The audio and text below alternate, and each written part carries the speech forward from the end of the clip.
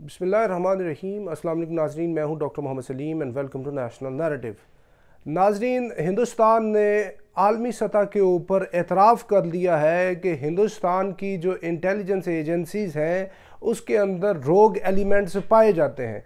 यानी हिंदुस्तान ने सरकारी तौर पे इस चीज़ का जो एतराफ़ किया है, उसके अंदर ये बखूबी अंदाज़ा लगाया जा सकता है कि इसके पीछे जो इंटरनेशनल एजेंसीज़ हैं, जो फाइव आइज़ हैं, जिसके अंदर America, Canada, New Zealand, Australia और इंग्लैंड, इनकी जो इंटेलिजेंस एजेंसीज़ हैं, उनका बहुत ही ज़्यादा कोऑर्डिनेटेड एक होमवर्क है और अमेरिका ने हिंदुस्तान को इस बात के ऊपर मजबूर कर दिया है कि वो ये चीज़ का एतराफ़ करे कि वाक़ता ही रॉ के जो लोग हैं, वो आलमी सतह के ऊपर टेररिज्म को एक्सपोर्ट कर रहे हैं और वो इंटरनेशनल जो किलिंग है, उसके अंदर उनका हाथ है।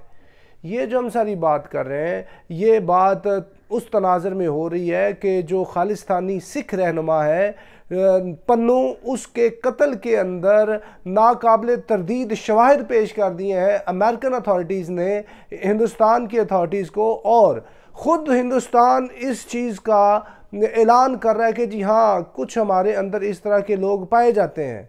भाई जो डिप्लोमेट है, डिप्लोमेट का तो काम होता है सफारतकारी करना, डिप्लोमेट का तो काम होता है, एक मुल्क के दूसरे मुल्क के साथ जो ताल्लुकात हैं, उनको बेहतर करना।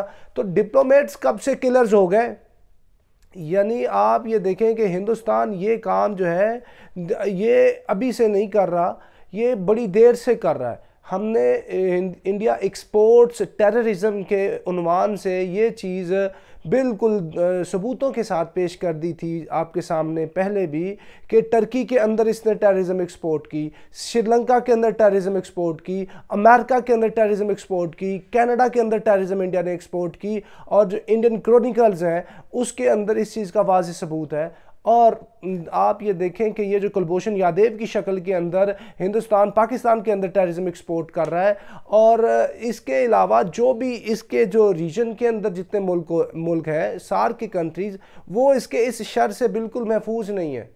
और ये पाकिस्तान को बात कर रहा था कि पाकिस्तान की जो प्रीमियर इंटेलिजेंस एजेंसी है आईएसआई वो एक रोग एजेंसी है। पाकिस्तान की आर्मी के अंदर रोग एलिमेंट्स पाए जाते हैं। तो भाई पाकिस्तान की ना ही आईएसआई के अंदर रोग एलिमेंट्स का कोई सबूत पेश हो सका, ना किसी की इन्वॉलमेंट जो है वो साबित हो सकी, और ना ही पाकिस्तान अफवाज के अंदर इस तरह के एलिमेंट्स की कोई निशानदही हो सकी।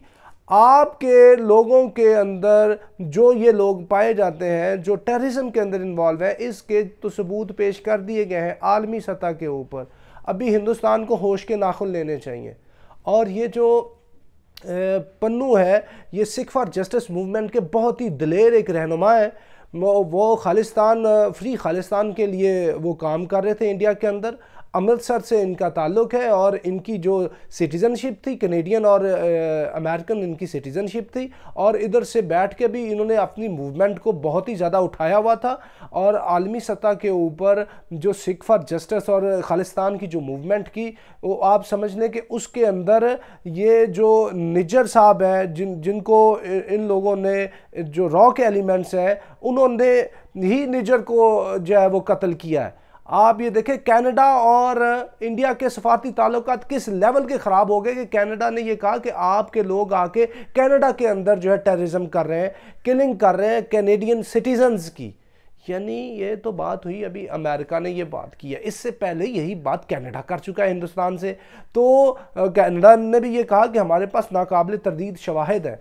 मतलब दुनिया के कितने जो सिविलाइज्ड और इतने इम्पोर्टेंट मुल्क हैं, वो सबूतों के साथ इंडिया को कह रहे हैं कि आप हमारे अंदर टेररिज्म करा रहे हैं, आप हमारे शहरीों के कातिल हैं और कत्ल के अंदर बरह रास्त आपकी रॉ जो है रिसर्च एंड एनालिसिस विंग वो इन्वॉल्व है।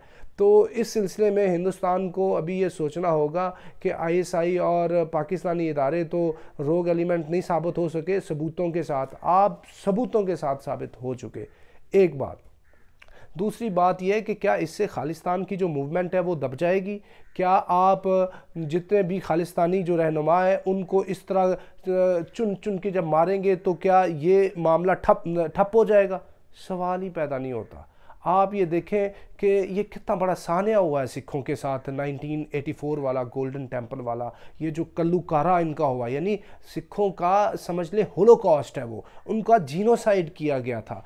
उस टाइम भी नहीं है दबे, बाद में भी ये इतनी अपनी मूवमेंट को चला रहे हैं। और आलमी बरदरी के सामने उन्होंने वाजे कर दिया कि हम हिंदुस्तान के साथ नहीं रहना चाहते। हमारे साथ जुल्म हो रहा है, ज़्यादती हो रही है और हमारे साथ धोखा किया गया है। जो बानिया ने हिंदुस्तान है, उन्होंने हमारे साथ मिस कमिटमेंट किया है। हमें ये वादे वहीद किए गए थे कि आपको अलहदा से हम वतन बना देंगे। तो ये सारे झूठे और अपनी बातों से फिरने वाले लोग हैं और इसलिए हम अपनी मूवमेंट को जारी सारी रखेंगे जब तक हमारा अलहदा से वतन नहीं बन जाता। तो उसके लिए कितनी कितनी बड़ी उन्होंने कुर्बानियाँ दी हैं, कितने लोग आते रहे, ये और कई इनके अंदर पैदा हो जाएँगे, इस तरह के पन्नू और इस तरह के नज़र जैसे बहादुर और दलेर किस्म के जो सिख रहनुमा हैं, जिन्होंने नाक में दम किया हुआ था पूरी की पूरी इंडियन गवर्नमेंट को। तो ये जो आलमी सतह के ऊपर इस चीज़ का ऐलान होना कि इंडिया इस तरह की तखरीबी कार्रवाइयों के अंदर मुलवस है। इंडिया के लिए बहुत ही एक अफसोस की बात है। और दूसरा, आप ये देखें कि ये ये खाली सिखों के साथ नहीं है, पूरे हिंदुस्तान के अंदर पर्टिकुलरली जो हिंदी बेल्ट है, उसके अंदर तो ये वाक़ तवातर से हो रहे हैं। आप ये देखें कि अभी ये वाक़ हुआ है रमज़ान के अंदर ही जो गुजरात है, गुजरात के अंदर जो अहमदाबाद शहर है गुजरात का, उसकी जो गुजरात यूनिवर्सिटी है उसके अंदर मुसलमान जो है, वो स्टूडेंट्स वो नमाज़ तरावी पढ़ रहे थे। नमाज़ तरावी पढ़ने के दौरान ही बाहर से कुछ तीस जो बुलवाई हैं, उनका जत्था आया है और उन्होंने आके इनको जदोकोब किया है। ये इंडिया के मुसलमान बच्चे नहीं थे। ये साउथ अफ्रीका के थे, श्रीलंका के थे, उज्बेकिस्तान के थे, मुख्तलिफ़ ममालिक के ये स्टूडेंट्स थे। क्योंकि उसका जो ब्लॉक है यूनिवर्सिटी का, उसके अंदर काफ़ी बड़ी तादाद के अंदर जो फॉरनर्स हैं, वो पढ़ते हैं। कुछ तीन सौ के करीब वो फॉरन स्टूडेंट्स हैं। तो मुसलमानों को जदोकोब इसलिए किया गया कि आप इधर अपनी तरावी की नमाज़ क्यों पढ़ रहे हैं? आप ये इधर काम नहीं कर सकते। उनको ज़ख्मी कर दिया और वो अभी हस्पताल में पहुँचे हुए हैं। सिक्योरिटी गार्ड्स ने छुड़ाने की कोशिश की, लेकिन बुलवाई किसी के काबू में में नहीं आए और उन्होंने कहा, इधर जय श्री राम है। ये हिंदी, हिंदू, हिंदुस्तान है। बाकी इसके अलावा मुसलमानों की कोई ज़रूरत नहीं होनी चाहिए कि इधर वो इबादत भी आज़ादी से कर सकें। भाई, इबादत करने में कौन सा शर है? कौन सी तकरीबकारी है? वो बच्चे तरावी की नमाज़ पढ़ रहे थे। आपने उनको भी नहीं बख्शा। ये नरेंद्र मोदी जो इस तरह के बीज बो रहा है, उस, उसकी वजह से हिंदुस्तान के अंदर भी तकरीबकारी हो रही है और आलमी बरदरी के ऊपर भी तकरीबकारी हिंदुस्तान के लोग कर रहे हैं और स्टेट के लोग, रॉ के लोग, जिसकी वाजिया मिसालें कैनेडा और अमेरिका के अंदर इन्होंने कत्ल किए हैं उनके शहरीों के। तो अब तक के लिए इतना ही। Up to next time thank you very much Pakistan, जिंदाबाद।